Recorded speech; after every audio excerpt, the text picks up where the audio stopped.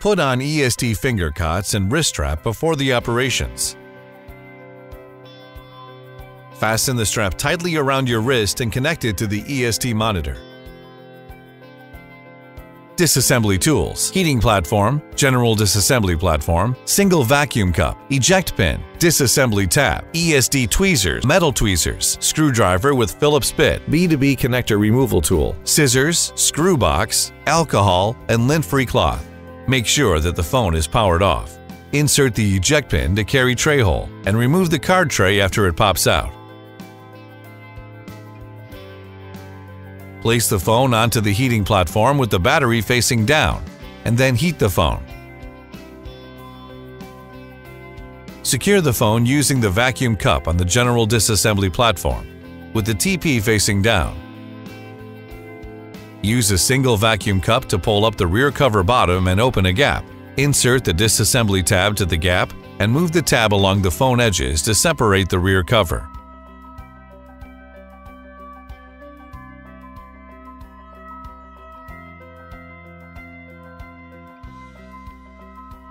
Turn the separated rear cover over to the left side. Use the Phillips screwdriver to remove the screw from the fingerprint sensor B2B connector steel sheet and remove the steel sheet.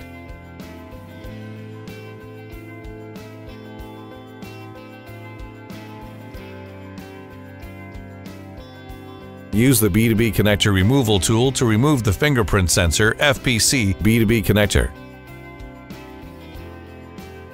Remove the remaining adhesive and mylar from the rear cover and cover edges and the PCBA support.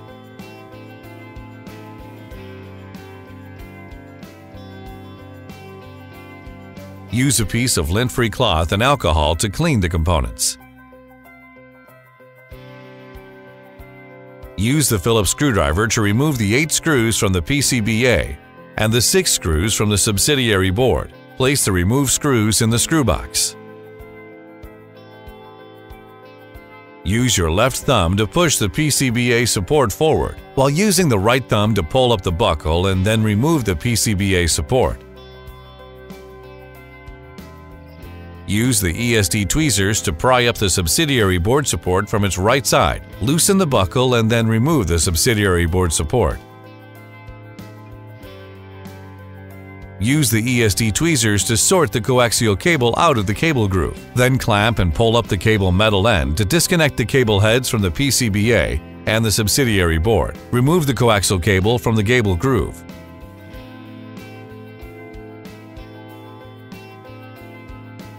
Use the ESD tweezers to lift part of the conductive fabric from the front camera B2B connector.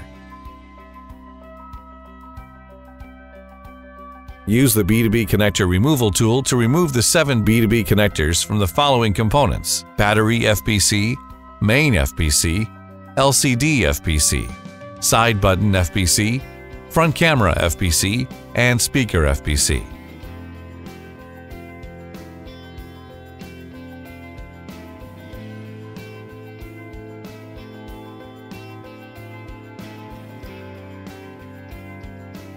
Use your fingers to secure the USB subboard. Hold the center of the FPC and pull up the FPC carefully, and then remove the USB subboard.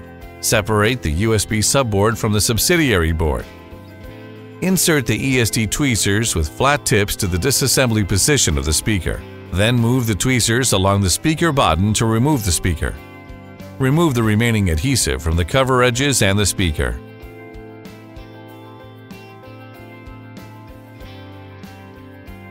Use the metal tweezers to pry up the PCBA from the lower right spring.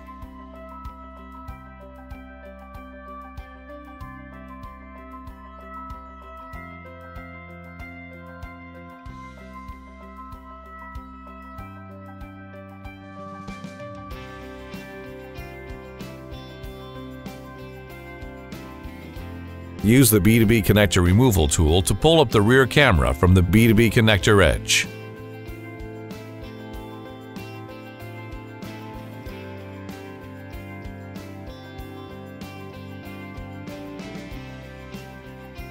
Use scissors to cut the conductive fabric along the front camera B2B connector edges.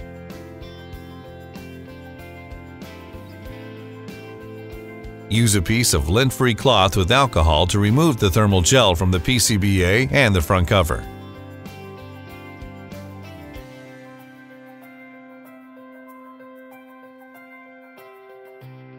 Disassembly is complete.